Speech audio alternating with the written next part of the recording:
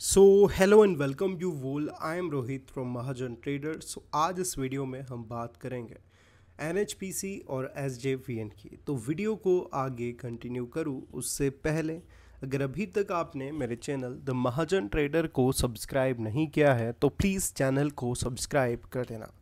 साथ ही आप हमारे टेलीग्राम चैनल को ज्वाइन कर सकते हो, जिसकी लिंक आपको नीचे डिस्क्रिप्शन में मिल जाएगी। वहाँ आपको निफ्टी और बैंक निफ्टी की काफ़ी कुछ अपडेट्स मिलने वाली है। तो प्लीज़ जाकर एक बार चेकआउट ज़रूर करना। तो वीडियो को करते हैं कंटिन्यू एनएचपीसी लिमिटेड की अगर हम बात करें तो स्टॉक में मॉर्निंग में काफ़ी बड़ा डंप हमें देखने को मिला। स्टॉक अगर देखिए गैप अप ओपन हुआ था बट यहाँ पर stock three point ninety five rupees के अराउंड एक गिरावट बताता हुआ भी हमें नज़र आया। उसके बाद स्टॉक में अगर देखिए धीरे धीरे रिकवरी हुई। तीन रुपये पचास पैसे की रिकवरी शेयर कर गया। साथ ही रिटर्न अगर देखें तो स्टॉक ने एट द एंड रिटर्न दिए।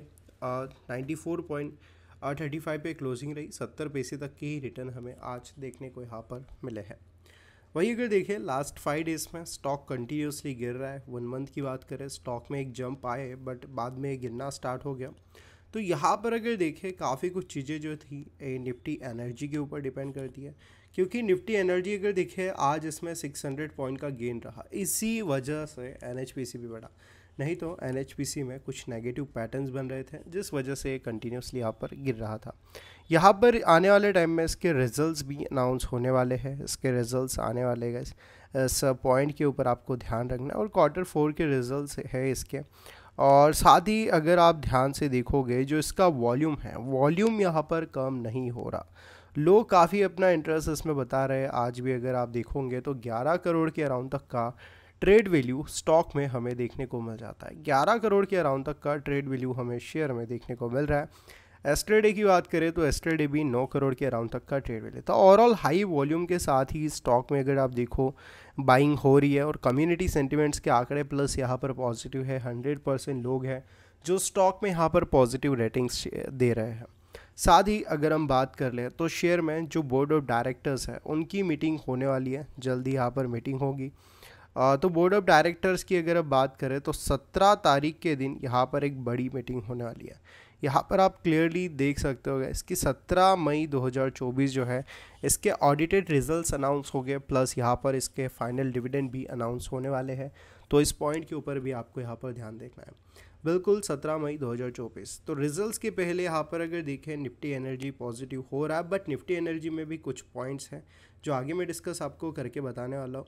अब बात कर लेते हैं एस की भी, क्योंकि एस में एक अच्छी न्यूज़ आ रही है। एस लिमिटेड की बात करें तो इसमें भी मॉर्निंग में एक डंप देखने को मिला था, चार रुपये अस्सी पैसे शेयर जो है गिर गया। उसके बाद स्टॉक में अच्छी रिकवरी रही, पाँच रुपये पैंतालीस पैसे रिकवरी बता गया। वही अगर देखें एडेन स्टॉक ने एक सौ पच्चीस रुपये पचास पैसे पे क्लोजिंग दी है।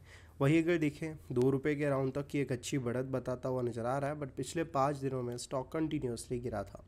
यहाँ पर एक काफ़ी हद तक पॉजिटिव न्यूज़ आ रही है। एक ReNew sign 2.2 gigawatt of clean energy deals तो यहाँ पर अगर देखिए ये जो कंपनी है रीन्यू तो एक बड़ी कंपनी है Nasdaq listed ReNew Energy Global P L C has sign five deals to sell 2.2 gigawatt renewable energy capacity to state owned entities तो यहाँ पर अगर देखें इस, ये जो कंपनी है, यहाँ पर बेचने वाली है।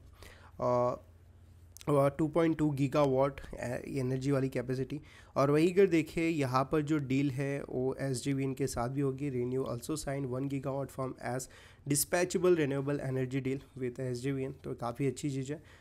At a tariff of four point thirty nine rupees per giga watt के हिसाब से ये बेचने वाले हैं।